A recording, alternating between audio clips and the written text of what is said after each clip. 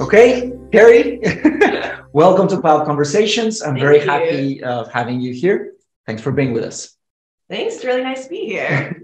so uh, this is the first for our, uh, or it's a, a, kind of different format. Normally I do this on Zoom. So uh, I was here at Cambridge and I said like, why not?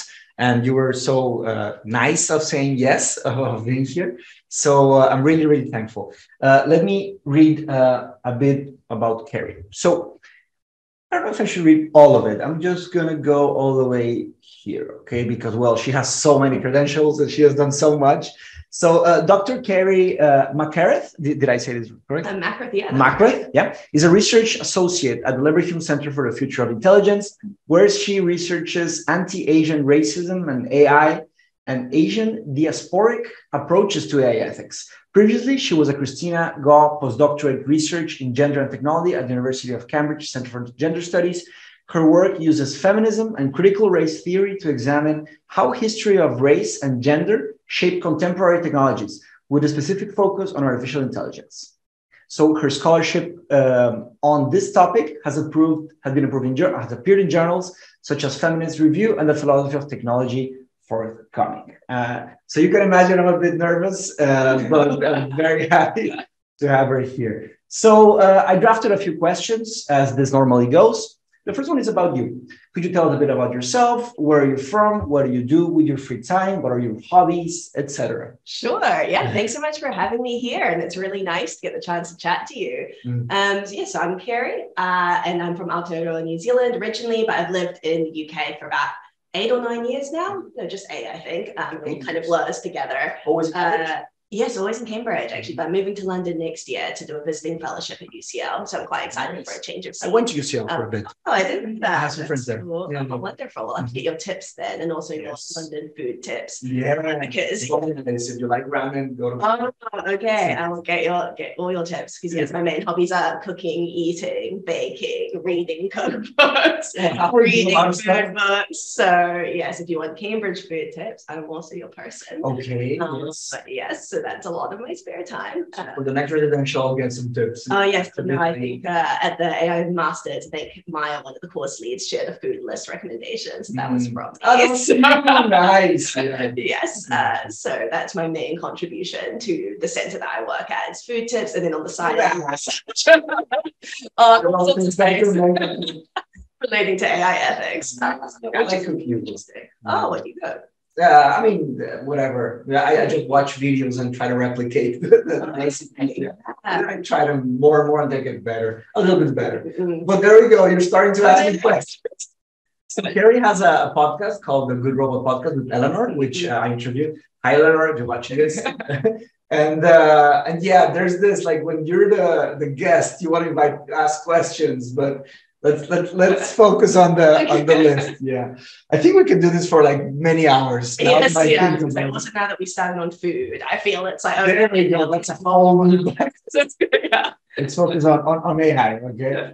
So uh, about your academic trajectory. So what? Yeah, and this is a bit of a, a selfish question because I want to learn about how how to do this right. Like, uh, so what key attitudes and strategies do you consider an academic has to develop, like across time? To make good progress on, on their field. No? And personally speaking, what, what has worked for you? Ooh, that's a good question. Mm-hmm. Yeah. Mm. I guess, you know, I think I've been very lucky in that I've had a lot of like really great mentorship and a lot of people who guided me through mm-hmm. this process. I think trying to do this alone is very, very challenging. And I think um, you know, I think one of the things that is really important is like getting a community quite early. Like I think especially mm-hmm. if you're um, a woman of color, if you're a my scholar, I think having people who you can trust, you can go to when you're facing any kind of challenge in the academy is just like super, super important. So I'm really grateful to those people like in my life. Um, who are your mentors? Who are your mentors? Oh, I've had a lot of people. Yeah, at the gender studies at UCL, Zion Yao has been really amazing. Um, mm-hmm. they're a critical race scholar and feminist scholar in the English faculty there. Um, and I've been really honored by the different ways that they've, um, yeah, curated different kinds of spaces to allow people to share their academic work, but also in a way that they don't have to leave themselves out of the room. Because I don't know if it's something you experience, but I feel like sometimes one of the challenges I felt in academia is having to choose between kind of um, your sort of intellectual self, and but and also the or your personal self and the things that you're really passionate about. And I think for me, the most satisfying work is when I can bring those two things together. And so I think, yeah, when you have people and spaces that allow you to kind of be fully present yourself instead of exactly, yeah, that's when the most beautiful like intellectual work happens. Nice, that's great. Yeah. That's great too. Yeah. Like following what your your true interests are, not just what is popular or what is happening there. Right? Yeah, definitely. And I think also like you know if you can find like a narrative that is really compelling for you to keep following throughout your work, I think that's what makes you really interesting as a scholar and really mm-hmm. compelling to people. And like, I don't think that means you shouldn't have like lots of different interests because we okay. all, of course, we all have lots of interests. that's, what's fun about this. Um, but I think the more think you, you, don't end up in there, sorry, sorry. I think you don't end up in the AI if you have like just one interest. Yeah, right. everyone like, here has like wild interests, wow. you know, which is fun. Uh, I mean, I understand like 20% of what's happening at any given time at this AI center. And I'm just like, cool. Um, mm-hmm. but yeah, I think, um, yeah, finding something that really works for you in terms of figuring out um, what kinds of stories you want to tell with your research going forward is important. And that's going to be very vague and abstract sounding. No, it's actually good. It's actually good. Like, uh, uh, first of all, get, like getting a community, people you trust, people that, you know, understand you, and then having kind of a connection throughout your work and your mm-hmm. interests. Definitely. very good. And it's something probably as well that you have developed a lot as a podcaster, which is kind of finding mm. a way to sort of tell stories about something, a core theme that you're really passionate about. And I guess for you, that's thinking about, you know, mm. how we know, what kinds of knowledge societies we build. So it's like, am I escaping the screens? Yeah, yeah. yeah. that's great. That's great advice. I mean, um, uh, I also have a lot to learn from you. Uh, from your podcast as well, because your podcast is much more academically rigorous than than ours. But uh, we're, we're getting there. We're getting. I mean, more and more speakers.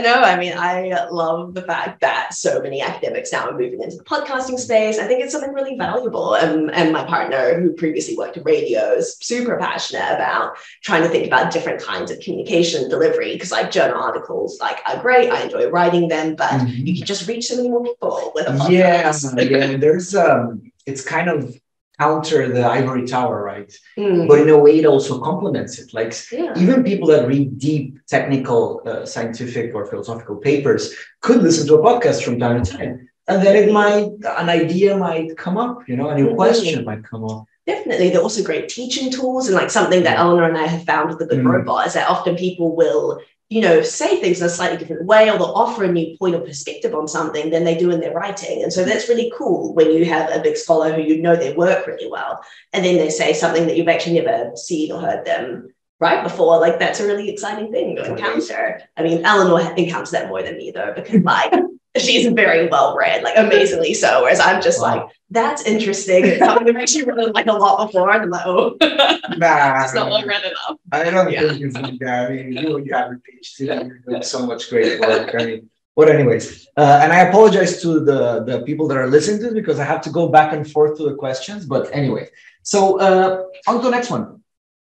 So, how was your decision making process uh, if there was one, and how to, to land on AI and gender studies.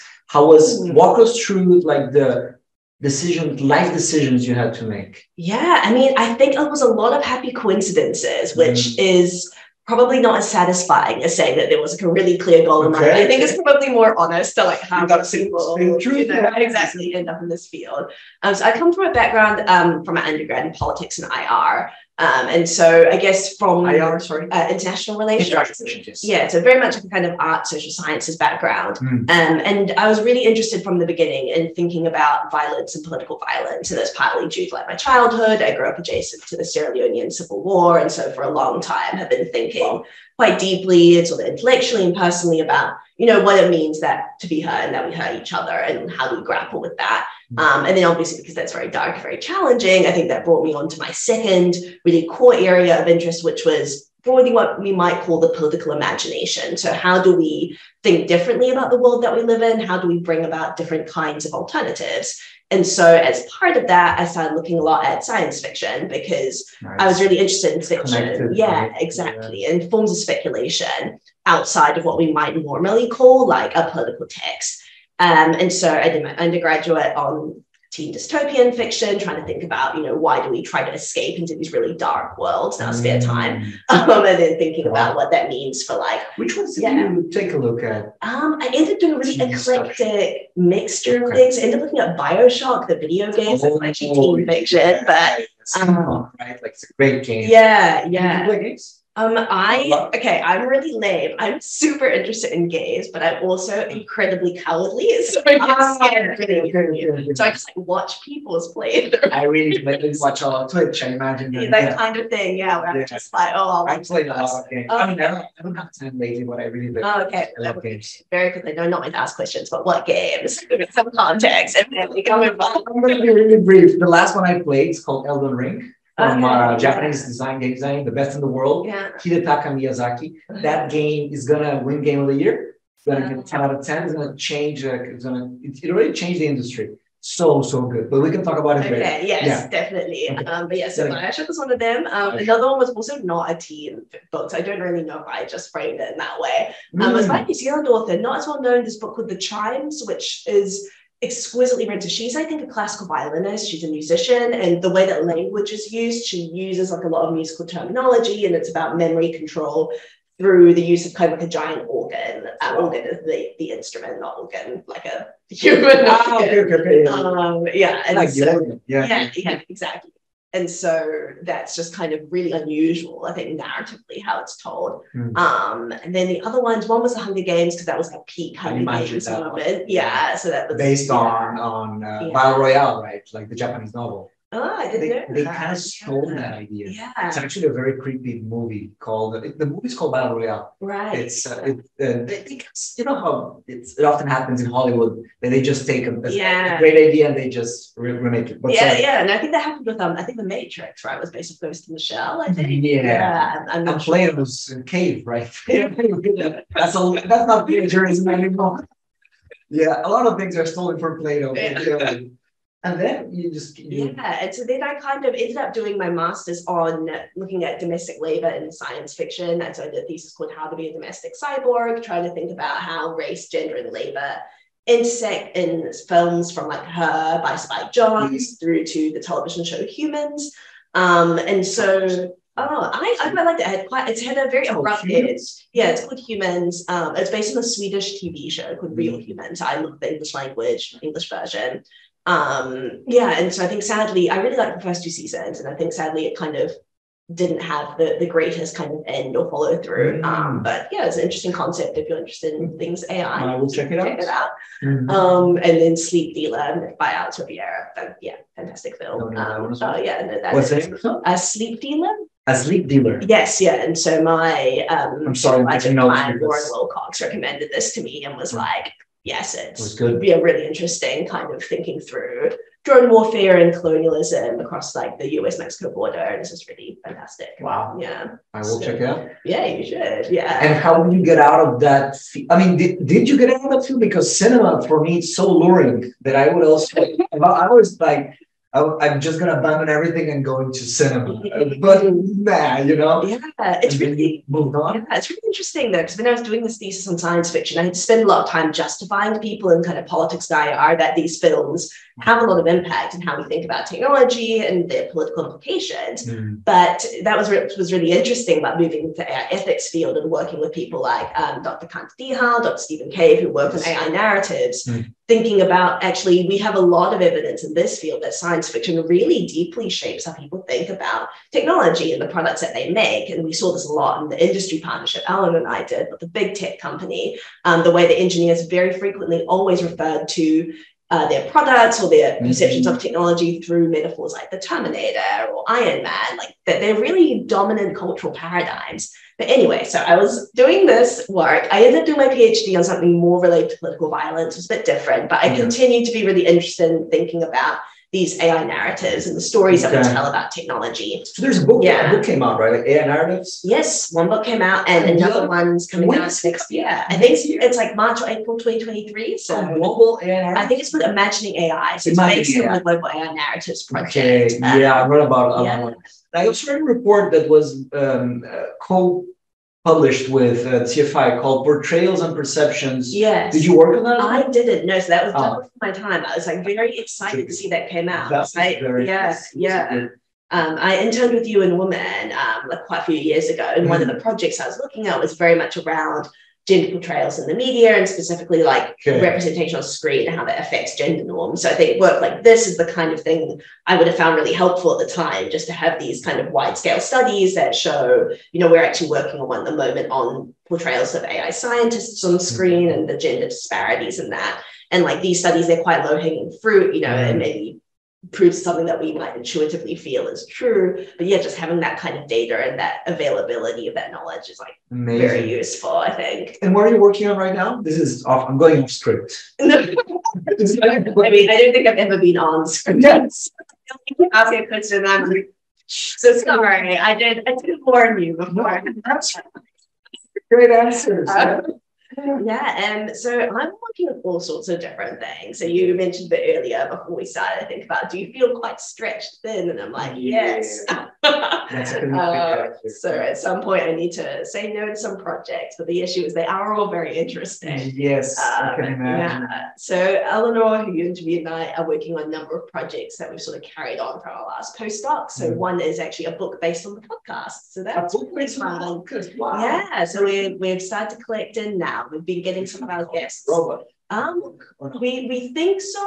Um, we- I think it will still be the good robot. We're still deciding on like a subtitle. Very Um, Nice yes. project. so I don't want to say it in case I like really because I'm like not quite sure what it is yet. Yeah, yeah. Um, but yeah, that's we're getting some of our guests to write essays, all responding to this provocation of what is good technology, which is what we ask everyone on the podcast, and then they're all answering in relation to the kind of phrase like good technology dot dot dot. So it might be Mm. like good technology is free, or like good technology incites resistance, or yeah, and so and they're all like two thousand word essays. They're we're like they're accessible for academics. We're working on making them as punchy and accessible generally as possible. Yeah, because that's super important to us. Sometimes philosophers can talk in ways that are not very accessible. I agree, I'm I agree. equally And that is a problem. guilty of that. And so we're, you know, working on that. Um, but yeah, we're really excited. The essays we've had so far have been fantastic. Um, and it's really nice to kind of Wow. see So something come out of the podcast. I'm sorry. The process, the writing process is going to be like you're going to write a bunch of essays and then you're going to Um, it's yes. collect them together, or like Yeah. having a narrative, or Yeah, so they've kind of divided up all the essays into kind of a number of sections, right into like different areas of politics and society. Um, but yeah, each of our contributors are sort of the individual authors of their essays, which have largely been based off the interviews that they did on the podcast. Mm. Um, but then kind of just pulling together all the things that they said in the podcast into kind of a small, bite-sized, coherent essay instead. Um, nice. Yeah, and so I'm looking forward. I'm going to read it. yeah, no, it's one to be really visual, really exciting, just Mm. kind of like a very nerdy coffee table book that you can have if you just decide, actually, I want to know That was you very cool. what planets in Katherine Hayles thing, like technology is like. These questions are are getting more and more traction because Mm. every company is becoming a tech company. So the AI is eventually going to start being used everywhere. Like, so uh, this is an exciting moment to to talk about these issues. Yeah, I think it's a really crucial moment as well because I think you're exactly right when you say like every company's becoming this tech company, which is there's so much kind of tech buy-in happening right now Mm. within these companies um, in areas from HR through the marketing, through the product development. That's like actually we all need to be really literate in these questions and talking about it. It's not something that should just be isolated to to just a legal feel ethics super unfair. Yeah, Yeah. yeah, I completely agree. Is why it's great that folks like you are doing this e- ethics masters, I think, because Yes. it's bringing that knowledge into all Into sorts the of different contexts. Yeah, yeah, yeah. My, my, my plan is to, I mean, I want to do my, my PhD, but I also want to work with people that are, you know, engineers and doctors and, you know, uh, people in HR and lawyers that are, they're in the front lines, right? I think it's uh, something I have to do. And also doing this kind of outreach to, Yeah. to everyone. Uh, okay, so moving on. Um, so I want to congratulate you on your PhD. I know you're, you, you just finished it. Could you talk about uh, I mean, how was the experience? I mean, if you want to be brief, you can be brief. But Yeah, I, I, yeah. I didn't want to miss the opportunity to congratulate you here. Thank you. I appreciate that. Yeah, no, I actually wrote up my PhD during COVID. So it kind of hit and I ended up going back home to New Zealand for six months and writing up. So it was a very strange end to the PhD in a way. Um, I really feel for the PhDs who've been trying to do it during the pandemics. I think it can be a very isolating experience. Mm-hmm. Uh, and so I'm really hoping that. Okay. And so definitely the advice I always give, I try and like go for coffee like the first year PhD students. Um, and then my advice is always like I would spend the first like work block of your Monday just like scheduling lunch meetings mm-hmm. throughout the week, scheduling. Wow seeing people times because if you work on a very solo project guided not in a lab you know it's a lot of time by yourself and i think it yeah. is you know some of the most valuable learning experiences are the ones you have in conversation, but also just for your own health and happiness. CP was very important. It's very important. Yeah. Yeah. yeah. yeah. I mean, I felt I've been feeling this. I mean, mm-hmm. at a very minor scale, but here, mm-hmm. uh, I mean, I've met so so much so many wonderful people, but the, on the residential week. But after that, like before and after, I was really lonely. I mean, mm-hmm. of course, I have the city, right? I can explore, but after a time, you go home at night and you're like, uh, yeah. and it kind of gets heavy, right? Definitely, like, yeah. Especially if you're the work you're doing is quite emotionally heavy mm-hmm. as well. Mm-hmm. Like, I think it's the most incredible privilege just to be able to like sit and think for three years. Like, I was so lucky to be able to do that. But like, you know, I was working on things relating to incarceration, immigration detention, wow. and you know, it is um, yeah around political violence, and that work I think is really really important. Um, but it's also like it's quite you know difficult when you come back from a day of like reading you know women's testimonies of imprisonment in the archives. I've looked a lot at the incarceration of British suffragettes during uh, the early 20th century. Um, and like a lot of their testimonies are really emotionally difficult to read. And I think that's something that people, ways, eh? yeah, hadn't really prepared me for. And it's something the more that I talk to other researchers who do that kind of work, they're like, yeah, you know, there's a really big emotional element to that kind of research that we don't necessarily grapple with. You gotta cook. That's the secret. I mean, yeah, no, no, anything. yeah. Well, or find something, right? You know, just uh, yeah, yeah, it is. It is a difficult thing. Yeah. And, and I mean, lockdown, I mean, double, right? The, the, the, yeah, yeah. No, I was very lucky to be with my family during lockdown, but you I should yeah, be very proud. People, you know? was. You should, yeah. Yeah, you did it. Yeah, no, it's amazing to have it done. And awesome. so if, when, when you eventually do a PhD, I'm definitely thinking about it as like, this is a project. It's not my life. It's not who I am. Like, I think I, I finished my PhD in quite a rush to start my job. And I'm so glad that I did that. So it was three years approx? Um, it was, yeah, exactly. Three three years because I was starting my postdoc, so I had to finish. Wow. So I had a really hard deadline, and then I had two or three days off, and then I started. So I was wow. like, oh. it's intense. Like you have to fit. I mean, there's no options. There's no other way. Yeah, definitely. But I'm glad that I did because it was just like it was a relief to have it done. Um, so good. Yeah. Congratulations again. So, I mean, we, we kind of responded to this one, the, the, the good robot, but yeah. could you tell me a bit about the experience of uh, how did the good robot begin and how has it been how long has it been going on and uh, what are your thoughts on it yeah Sure. It's been going on for over a year now, um, which is really exciting. We just hit 15,000 downloads, which I'm very happy about. Um, partly because I forced my friends to download it, yeah. but also we have some real insights. yeah. Whenever I find an authentic listener, I'm like, wow. Wow. How did they get there? one of those. One of those. One of the yeah. I'm gonna put in all the links here so you can check out the. Uh, yeah. Yeah, yeah. um, definitely check us out. Gonna do some promo. Um, yeah, so we knew that public engagement was like a really important part of our gender and technology project that Eleanor and I was on, but we were also um, in the middle of the pandemic. So we kind of were a little bit of a standstill because we were like, well, we know that a huge part of why this project was started was to try and communicate the ways that feminism can transform the tech industry, the amazing stuff that's already happening through feminist activism. Mm. Uh, and something we really wanted to do with our engagement was to try and walk the kind of middle ground between the kind of AI hype of like mm. Silicon Valley, but also this kind of really intense techno pessimism. Which says, you know, that can turn into a kind of fatalism and says, well, you can't do anything about all this yeah, stuff it paralyzes happening. everyone. It's just yeah, I agree. Mm-mm. And so we were kind of like, okay, well, what can we do that will actually make people want to come? Because like no one wants to come to another Zoom seminar. Like, let's be honest. so we all we all maxed out. This is like September 2020 through to like January oh, 2021. We were like, yeah. everyone else is done. yeah. um, no one wants to. Yeah, exactly. No more platforms. Yeah. Like no more online conferences. So then we kind of said, okay, well, actually, what about a podcast? Because Eleanor listens to a lot of podcasts. My mm. partner, as I mentioned, like worked in radio and is just like always listening to a podcast. Uh, he's like that person, like yeah, really yeah. yeah. And so nice. it's like actually this kind of works. Like you know, there's some really fantastic stuff out there, yeah. um, like your stuff, and like all sorts of academic podcasts that are going on. Um, and so then we struck on this idea of the good robot because we were we thought it was quite provocative because a lot of work in our area is very critical, which is fantastic and um, I am the super pessimistic one of Eleanor and I. She's the slightly more optimistic one. Yeah, I am um. Yes.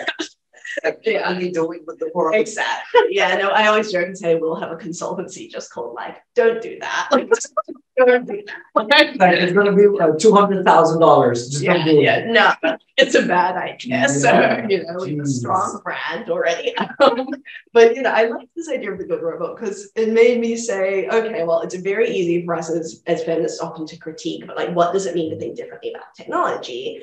Um, and also, we like this idea of like the good robot because we wanted it to not be an assumption that we think technology can be good, but you know, to be, I guess, um, yeah, just provocative to say, you know, actually, where do you stand in this idea of technology? What can do for us? Um, so about about critiquing, I think it's uh, many people can take it as bad as negative, but I think it's a good it's a good thing. Like.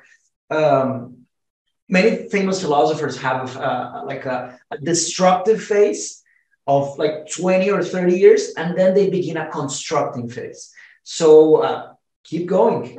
Keep destroying keep saying no. At one point you're going to say like okay now i know you know? Yeah.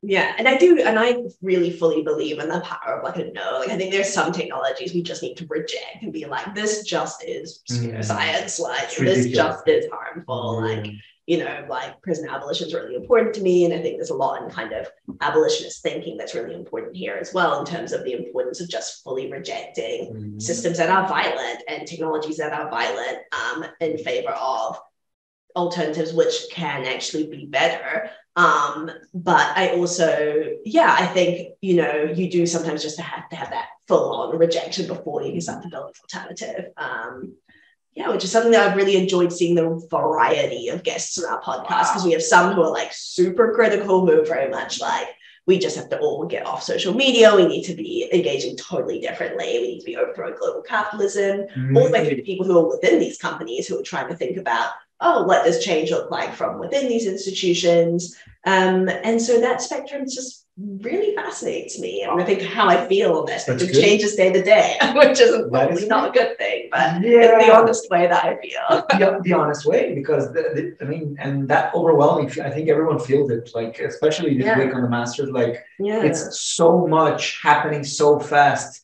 at like a hundred dimensions and and perspective and then one thousand perspectives, mm-hmm. and you're like, wow, like how are we gonna do this? But uh, but we have to figure it out. Like definitely that's why we're here. Yeah, definitely. And something I think that is really important to me is acknowledging that like different kinds of work can happen simultaneously. Like we can be mm. working to overthrow a violent exploitative system while also saying, but we need to do some kind of immediate short-term help, like right now. Like in parallel. You know, exactly, like in parallel, not seeing them kind of as like one or the other, but just mm. saying like this all somehow needs to happen at once and that's yeah. super challenging it is it is wow yeah. and especially with the way like how money works like how companies work and investment flows it's yeah. hard to stop you know like it's like a flood of you know once the money comes in and someone says no it's like what like just tell me how I, will get a yes it's, it's very very difficult mm. so uh, I have four AI questions uh, that perhaps you we could synthesize, but yeah. uh, I uh, I normally don't ask like get into this kind of things, but uh, I would like to hear from you, mm. and I would like to start doing this more often on our cloud conversation. So the, the questions are: What are your hopes for present AI? What are your fears for present AI? Then what are your hopes for future AI? And what are your fears mm. for future AI? Those are good questions. As I mentioned about being very pessimistic, I feel like my fears are many and okay. ginormous. The hopes are few. But you can answer all of them. Yeah, I'm gonna, you know, this is yeah. the, the provocations. Yeah. Um, yeah, I guess my hopes for kind of present AI development is that I think my hope is actually almost more in the fact that um, I think we've seen like so much public mobilization around algorithmic injustice and so much more kind of public awareness of different kinds of surveillance techniques, different mm. kinds of products. And like I think that has really radically changed from like um, five or 10 years ago. Um, you know, I think yes, we've seen this huge growth in AI hype, but we've also seen this kind of growth in AI skepticism, which is really interesting. Okay. I don't think those people are necessarily always moving in the same circles, which is a bit of a worry. And of course, like you just mentioned, there's always like serious risk of corporate capture when it comes to AI ethics, when it comes to critical approaches to technologies. Mm-hmm. But I'm really, I am heartened by the fact that there is a lot more, I think, pushback both within companies and publicly. And I think um, high level scandals like the A level algorithm here in the UK. Um, yes, the massive Which scandal. Um, the A level algorithm, and uh, that was in 2020. This was, oh, it wasn't 2020 or 2021. Okay. I can't exactly oh. remember the year, but it was. Um, Which algorithm? I couldn't get it. I think it was 2020. So basically, they used um, a predictive algorithm, mm-hmm. the UK government, um, because the students couldn't sit their exams because of COVID. And so they used a machine learning algorithm or to predict what grades students they think would have gotten. And then wow. um, that became their grade. And obviously, there's like really big implications for, you know, students as university choices, their careers going forward. I'm probably doing a really bad explanation of this. No, no, don't worry. People can people can research yeah, and look into it. Yes. It's just a, a yeah one um, rabbit yes. hole. Yes, okay, yeah. Please look in the rabbit hole and get the details. Some of LSE did a really good blog post on that. The name um, of that case, like the um, but if you look up, yeah, A level algorithm. A level, okay. A level, yeah. Ah, A level, um, yes, A-level. yeah. And then, yes, yeah. But then basically, the algorithm very clearly, you know, showed all sorts of kind of class discriminations. If you went to a, uh, a if you had a class with, I think, less than 20 people in it, you got a predicted grade, I believe, from your teacher, not from the algorithm because it didn't work. And then obviously, if you go to like a private school, you're much more likely to have small class sizes. Um, they also mapped it against I think the algorithm was based on the achievement of like the previous year. And so mm-hmm. school kind of demographic had like a huge impact on what those grade outcomes would be. And so this led to like massive protests by students, by wow. parents, and to the extent to which it had to scrap it, right? They had to say, sorry, it doesn't work. Doesn't um, work. Take it back. Yeah. Yeah. And I think this to me, like, you know, I mean, firstly, it just showed these huge class disparities in British society. But secondly, I think it was a really interesting case of where people became super aware super quickly about the kinds of discriminations and biases that are really embedded in some of these tools and the fact that when they're applied indiscriminately at a scale like this, they result in huge problems. And so I think it was quite a watershed for a particular generation, I hope, of like UK students. Um, but yes, again, please look it up. I will. I will look it up. So your hope is yeah. that there, the pushback is yeah good, it's starting to happen. I think my hope is that the pushback is starting to happen. And yeah, and also my hope as well is that there's increasingly more and more people going into AI and ML who really genuinely believe in the production of ethical technology. And I'm really inspired by people like Sneha Revanur, who is the head of ENCODE Justice or the founder of ENCODE Justice, this UK Justice, okay. yeah, uh, youth advocacy organization. Um, I think she just started her first year of university, but she started this organization when she was 16, and her organizing got a bill in California overturned, which would have brought in um, predictive algorithms for sentencing that were shown to be biased against black people mm. um, and so she and like kind of all the youth activists who work with her um, really believe in the power of gen z to kind of have these more social justice oriented approaches to technology and in doing so kind of have it create an engineering workforce that is more attuned to these ethical issues so those are the things that make me more hopeful, I guess. Good. Yeah, yeah. Um, yeah. Um, yeah, my fears, as I said, are many. Um, I think apart from choose a couple yeah. because yeah. we can do a whole lot. We can do four podcasts yeah, yeah. only on those questions. Yeah, no, I think I guess I'll focus on. I think there's to me really obvious fears around mm. repression, carcerality, violence, immigration, control, and detention. Mm. Um, but I think what I will actually focus on is maybe a more insidious one or a slightly quieter looking problem, two, I guess. And the first is um, this is something Ellen and I work on a lot, which is the buy-in of what we might call like snake oil products or products that are being mm-hmm. marketed far above their capacities in the companies by people who are super well-meaning and you know, who are believing in this marketing, who are buying products that they think are going to work, but actually don't necessarily do what they say on the tin. Uh, and so we look at this particularly in relation to AI hiring tools, and we analyze the marketing and the claims that these tools make around being able to debias hiring and make hiring fairer. And we kind of question whether or not these tools can actually do that. Um, and so I think, you know, for me, one of my fears is that there isn't enough control over the way that companies are able to market their tools, that there isn't enough awareness of the fact that some of these tools are based on premises that maybe aren't very reflective of like the broader systemic issues that lead to underrepresentation. Mm-hmm. Um, and so, yes, I think that fear is one that I think is shared as well by like a lot of people who are computer scientists who work in the AI and ML community. That there, there is, you know, for as much as there's like really well designed intentional products out there, there are, there are some products that are, are less so. So that's one fear. Um, yeah. My other fear um, is to do with, I guess, what some of these products are doing to the ways that we think about race and gender or how they can like mm. encode mm. certain kinds of categories. Like um, silently encode. Yeah, or particularly away around, for example, like data labeling and like I'm multiracial. Mm. My general experience is that people are not very good at guessing my ethnicity yeah. from the outside, which okay. is obviously, you know, which makes sense because our yeah. racial ethnic identities are very complicated. But that's exactly what data labels do. Yeah, yeah, yeah. Um, is that they will look at a photo of someone and it's often yeah, they'll decide this person is X. And we, mm. we know that's not a great way of doing it. Also, probably that data was not collected consensually. It was probably stripped off a website. So we're not having an opportunity for self-identification. Mm. And so I think to me, there's all sorts of ways that different that these can really entrench categories that like A, we might not even really believe in or agree with, but also there's so much opportunity for mislabeling and there's so much opportunity for um, people's identities to be kind of overridden.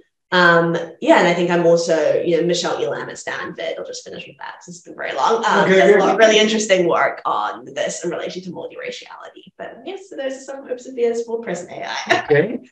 on to the future. I was like, oh my gosh, I needed two questions. No, yeah, yeah, yeah. We're not going to finish the question. Sorry. We'll, we'll record more. Uh, okay. Yeah, yeah. Um, we have to do one on a long format.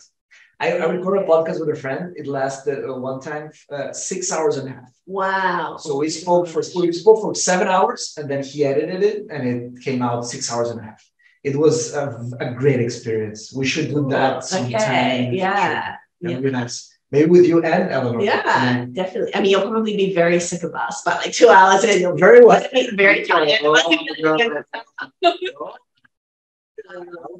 like more time than that. I'm uh, sure. Yes. Yeah. I mean, if there's snacks, I'm there. So yeah. it has to be six hours worth of snacks, and then yeah, well, around. you take breaks. You take okay. you pause it. You take breaks. Like, yeah, it has to be a difference. This is just rushing. But, no, no. Yeah, yeah, yeah.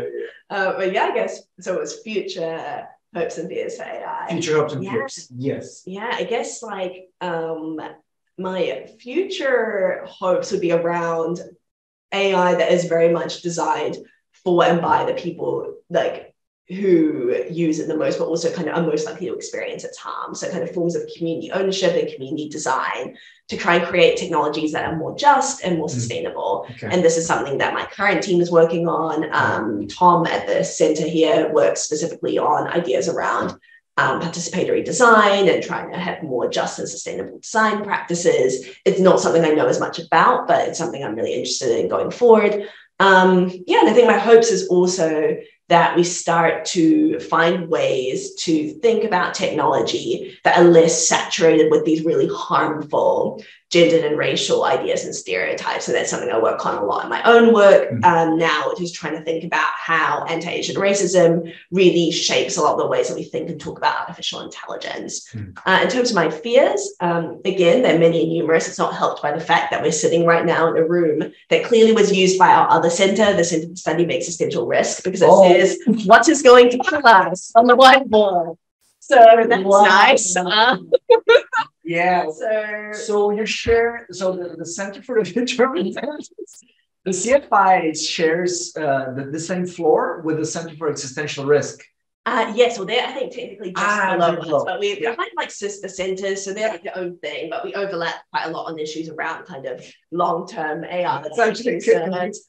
Uh, I don't know if it's easy to see, but- kill. They can re- really recognize this. right? Yeah. So Yeah. what is going to kill us? What can we do about it? How do we make sure it gets done? Wow. Yeah, so that's just the kind of Workshops that go on here. terrifying vibe. you know. Um, so yeah, that doesn't really help my yeah. cosmic pessimism very much, to be honest. Um, yeah, and so yeah, so they're good for generating lots of meaningful Wow. fears. Uh, long-term yeah, I mean, yeah, no, I think uh, genuinely though the environmental impact of AI, and again, Aimee van Yeah. Wynsberghe at University of Bonn has kind of a whole lab of thinking about this. But yeah, I think just the planetary costs, Yeah. the labor costs, the real impact that these technologies will have on people's lives, like that really scares me a lot. Um, then you're really entangled with capitalism and the way, you know. yeah, and just continuous resource extraction, continuous labor exploitation. Like I think in many ways, I think AI can just really exacerbate a lot of those things we already see in other aspects. of Inequality, global inequality. Yeah. exactly. I'm very interested in, in those problems. I want Yeah. to work on those problems. Yeah. Um, Okay. Yeah, and I think you know Abeba Birhane writes a lot about the algorithmic colonization of Africa. Um, Cool. Abeba Birhane. Um, of it, um, colonization, uh, the algorithmic colonization of Africa. yeah, and she's absolutely amazing. And Michael Kwet writes a lot about digital She's here in colonialism. And no, she is, I think she's out in Mozilla. Uh, yeah, and yeah, she's fantastic. Um, yeah, Michael Kwet also writes about this. Karen Hao, the journalist, did a really great series on digital colonialism. Like, I think how AI can just extend previous patterns of colonialism um, and discrimination is also very I think scary. let's I guess leave that's a this part- thing. Yeah, yeah. Yeah. Let's leave this part for, I mean, let's keep this. Yes. let's move on. Because uh, so we separate. We have ten more minutes. Let Oh wow, that did go very fast. Yes, I, I might be able. Let me do a quick pause and see. I mean, Mm. if you and I mean, we both can do a little more because this is Yes. too good. Yeah. One No. quick pause. Recording and. Oh, okay, we're back.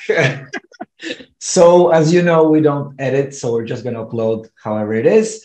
So uh, unfortunately, we won't have a lot of time, but we can do three more questions. So what else have you been working on, Kerry? Like, tell us what else are you doing here? Yeah, I just randomly literally got to the Good Robot book, and then we just yeah, we were just.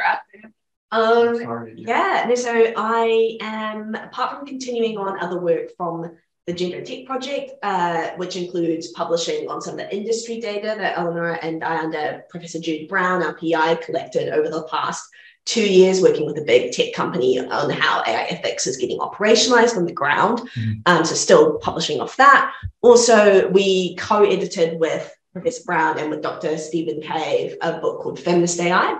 Um, and so that'll be coming out next year in Nice. March, April 2023, which I'm March. yeah, it's, it's I'm really, really excited It's about it. completely ready. It's- Um, the manuscript's done. We actually had the front cover come out to us sort of last week, and it's beautiful. so Um, exciting. and artist Stefano Kaimi. Um, I'm not, yeah, I'm very sorry if I pronounced your last name wrong, Stefano, who's also an academic, um, did the cover art and it's stunning. It's like AI generated art based on flowers. Um, it's really beautiful. Um, Nice. so yeah, we're excited, and the contributors have been fantastic. Um, And how was the experience? I mean, of yeah, I think it's always it's always intimidating and always tricky. I think whenever you say you're like, oh, we're doing a book on feminist AI because Wow. there's so many feminisms, there's so many different feminist approaches to AI. what, what do you mean by feminism? yeah, I mean, feminism. Yeah. Are so multiplicitous and Yeah. they're so complex, and they're unlike the histories of different feminisms are often violent and they're not good. And so, Mhm. you know, and I really enjoy work by people like Sophie Lewis, for example, who are like very deliberately trying to say, like, actually, what does it mean if we say like these are that feminisms themselves are often just so violent? There's obviously a long history of Yeah, what does that mean as well? like feminist so thought, woman of color thought that's like been challenging kind of the Mm. whiteness of feminism historically and contemporaneously. Mm. Um, so yeah, so I think these were the kinds of questions we were really grappling with with a book called Feminist AI is that how can you be fully representative of the diversity of feminist thought? Wow. Um, and also, you know, we were aware that like, you know, we are based in the University of Cambridge in the global north. And so this book is not going to be at all representative really of the diversity of feminist thought. So Um, I think the thing that I guess I found challenging about that was trying to balance all those different tensions. But for me, it also was just really important to be like, yeah, we've called this book Feminist AI, but it is one book, hopefully, in many, many, many books on Many feminist books. AI. Yeah. Um, and it's also yeah, just offering one starting point in that conversation for thinking about feminist approaches to this work. Um, and also, there's been a long history of feminist thinking in AI. that will continue to be a long history of feminist thinking And in then you can you, you can do another one on the global south, you know, to try and understand, bringing people that that, that understand that very well, collaborating. I think it's, it's starting the conversation is really important, right? I think so, yeah. And I also just think it's like, you know, for me, even though like oh, some, a lot of my family comes from the global south, it's just not something I would feel like comfortable doing, like taking a leading role in that conversation. So I think there's just a lot of Okay. discussions around position Someone else around yeah. around you know um how we approach these technologies which i think is really important to have um and so i think yeah that's something that i definitely found complex in that process Mm. um but i'm also like ultimately just like i think the all the essays we have and the people who like really generously contributed their scholarship like they're really cool so Mm. check out the book and write Will. many books in response We will. Amazing. I mean, I, I'm so, uh, what's the word? Humbled of all this. Like you're doing so much great work and so international, and so so much impact. I mean, you should be very proud of yourself. oh thank Really, you really, yeah really, i mean honest. I want to get there someday. No, Okay, I yes. mean, it's great. And I know I think that's just like my hope is always never like, you know, mm. I mean, my short term hope is just yet to like spread the word as much as possible about Yeah. all the amazing feminist stuff happening in AI um, and all the incredible feminist critiques of AI. But yeah, my long term goal is I want to be like completely irrelevant because I want my scholarship to not be needed. I don't want Okay. technology to still be super sexist and super racist like in 50 years time. And And it has to be logical, clear to everyone that, I mean, you know, Yeah, I mean, that that's the case. yeah, Like, exactly. Like it's just a basic principle. Like, Yeah. of course, we need Non-questionable. feminist design principles. Yeah. Yeah. So that's my long-term goal. Good, It's like that to become like outdated. Wow. It's an interesting one. and you know, like Yeah. that's the goal. So we'll cool. see if Very that cool. happens. That it becomes like second nature. You Mm. know, any engineer that's gonna start designing something like knows this stuff. Yeah, he has to. Exactly. Or she yeah. has to. Yeah, Yeah, exactly. Yeah. Okay. yeah. So uh, and it's in the language as well. okay, so uh, last two questions. These are questions that I always ask everyone that comes to Cloud Conversations. Uh, I also asked them to Noam Chomsky. That was the first one that came to the Cloud Conversation. Yeah, he gave interesting responses. Anyway, so uh, about our knowledge society, about Mindshop, right? So this podcast is is part of of Mindshop. Uh, like I think people these days don't take the time to take care of those trees that take hundreds of years to grow. Right? It's a metaphor on on how seriously we take uh, change in the world. Right? Like instead of going quickly, like as soon as possible, how do we do, do those things that will last, will outlive us? And I want Mindshop to really outlive me. I've actually thought about who who will keep Mindshop after I'm gone, and it's not going to be my my my children. It's going to be someone that is interested and deserves it and, and, and will keep it, you know, as a as an inheritance. I don't know, intellectual inheritance. But uh, many philosophers have gotten in trouble, and I use the, the phrase from Socrates, right? Like Socrates got into the uh, in the um, the Apology, right? He fa- very famously died, right? Not a spoiler, because sometimes philosophy and some um, there are some uncomfortable questions that people don't want for persons to ask. So, how could we, as a knowledge society, stay free from this? How how could we uh, not get entangled on those uh, politics, or I mean, from the private or the public sector? What tips would you give us as a knowledge society? Gosh, yeah, that's a just a light question to end on before lunch. Yeah, and there's another one. Yeah, yeah, yeah. Gosh, yeah, I guess how do we sort of keep this knowledge sort of free, I guess. So mm. yeah, kind of try to think about like how we sustain and grow knowledge over time without, you know, without kind of Getting having that. in the person agendas. Yeah, I guess um I almost have two answers to that. Like I guess on the one hand, it's like I do feel like my work is really normative in that sense. It's like, yeah, I have like a strong political platform agenda with like what I want to achieve in that work. And and so like I think I'm definitely very wary of like painting the work that I do as like apolitical because like I think, you know, all my work is like very fundamentally directed towards social justice, towards creative Yes. and technology. And so, yeah, but I do think that that question though of like, how do we try and like continue to grow that research when there's a lot of different competing corporate agendas or things that the university asks us for or things that we, you know, that you're meant to do to succeed in academia. Like, I think there's a lot of competing pulls I guess instinctively, one of the things I would say is I think in academia, there's like this really strong sense of like almost you and your work are your own brand. Like you build like a name for yourself. And it's like, you know, it's about becoming like a recognizable figure and like starting your kind of schools of thought and having people like cluster around you. And I think this is not a critique of any individual person at all. This is like interesting how academia is Generally built. Yeah, how you get tenure, right?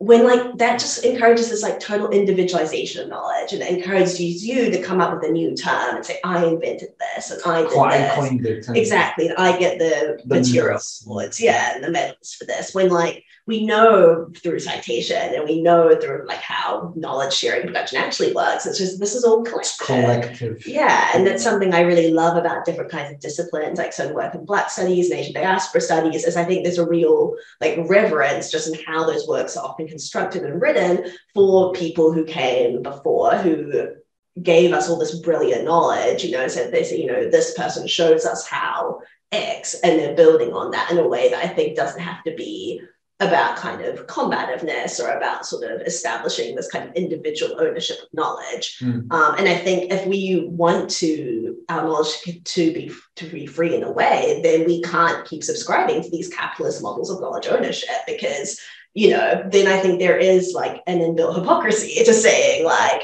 Good. you know oh well we're independent academics and like we are somehow holier than thou compared to corporations like I think hypocrisy is an inevitable part of human life. I'm not saying I don't think pure integrity is ever possible, Agree. but I also think that like we maybe need to take a step back and say, okay, but actually, if we're building ourselves through this brand model, like maybe we need to think differently. I mean, just- Sorry, am I escaping? Yeah, yeah, yeah. good. There we go. Yeah. Um, Yeah, that was a very thanks. long No, but- Yes, keeping that, that that view that knowledge comes from uh, an individual and comes from I mean and can be purchased and, and sold and you know and, and unlocked. Yeah. Yeah, and, and I understand again, like it's super alluring. I say that as someone who's in academia who has like a Mm. website, you know, all that Yeah. stuff. Like, Yeah, you gotta play the game as well, Yeah. but you gotta stay uh, with your eyes on on the deep future. Like, what, what would be ideal? Yeah, yeah, definitely. And or I just think like, you know, um, I do just think that the best thing can happen in the conversation and collaboration and like, you know, I'm so grateful that academics who do things like share their syllabuses and who make their work and their thoughts easily available and who share that generously, who give opportunities to you. Mhm, Um, mhm. like, yeah, I think that kind of spirit is okay. really crucial. Thank you very much. And then the second one is much more like uh, future. Like imagine, uh, imagine we, we we do this right. Like mine should last for 200 years. I don't know, 400 years. There's well, uh, where we're at, it's 800 years old, right? Like University of Cambridge. But I mean, I'm not comparing it. I'm just like you know. But there are some societies, for example, the Aristotelian Society in, in London. Uh, they've been around for a long time. So I, I'm going for something like that. So let's say that happens. Uh, and imagine this is like a message in a bottle for the future. You know, someone will see this in like 300 years, okay, 400 years. What advice would you give to those people about knowledge and understanding and improving the world? Gosh. Yeah, wow. You're talking to like uh, future humans or, or something else. I don't know if I'm allowed to say this, and then you will actually admit it. As about my original thought was don't get three mobile if you're moving to Don't get-. It doesn't work. Shout out to all international students, do not get three mobile Cambridge. It doesn't work. I don't care how long it but it still never works. I hope it doesn't exist, Yeah. but it exists, don't Uh, I'll, I'll get that tip. Yeah. I think it's I'll get three mobile. And I was like, no, that's just what I said not to do. Um, okay, but more seriously. Um, this is gonna be really ironic because I've just talked for like an hour and 15 minutes straight. No, this is a podcast. It's Um. But I do just think that like I think listening is just like the key component of so much learning um, and listening to people really meaningfully and seriously and allowing people to kind of tell their stories the way they want to. And that doesn't mean that you have to believe the exact narrative people always tell you, like as an academic and a scholar, like, you know, you're in your right to critically examine and think through, but um, always allowing yourself to listen, I think um, is just so crucial because I think often we jump straight to critique, you know, um, and we jump straight to trying to find holes in an argument or trying to find, you know, the problems. And I think there's all sorts of you know, people like Spivak and Rawls who have been really intentional about talking to their students around kind of really generous reading and ensuring that, you know, you're trying to understand where someone's coming from first and foremost and how the argument is constructed before you immediately go into the unpicking. Assuming and yeah. And I think there's something quite beautiful in that kind of like intellectual like generosity and that kind of humility. Um, so that would be, I think, Thank you very it. But Thank you so much. I mean, I I I, I finished this with the feeling that uh, I mean I would love to keep going, but we'll do more. We'll do more. Uh, okay. Thank you very much, Kerry. It's been an honor. Thank you. No, thank you. And congratulations on all your work. Thank you. Thank you, everyone. Bye bye.